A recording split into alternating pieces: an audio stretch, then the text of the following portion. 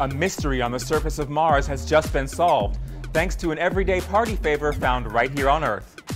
Rovers and satellites give NASA scientists tons of great information about Mars. Even with the best technology, there's a lot going on here they don't understand.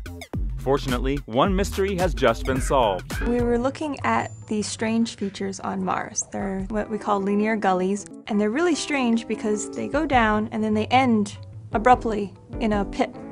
A lot of features on the Earth that are similar, you end in a debris apron because stuff has been moved from the top to the bottom.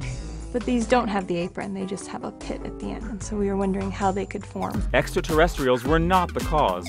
But the answer was found using something just about any big budget Hollywood alien flick would use. We bought some frozen carbon dioxide, dry ice blocks, and we took it out to a dune slope and we put it down and we saw what happened. Scientists tried regular ice and a block of wood first. Both barely moved. The dry ice flew down the hill and didn't stop until it hit something. Dry ice, as it heats up, turns into gas.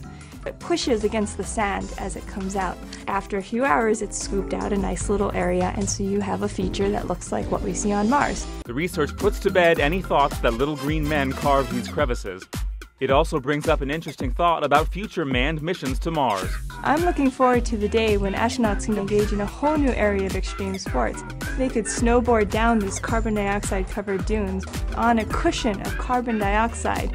They would just shoot right down those slopes. It would be amazing. I'm Matt Sampson with Weather.com.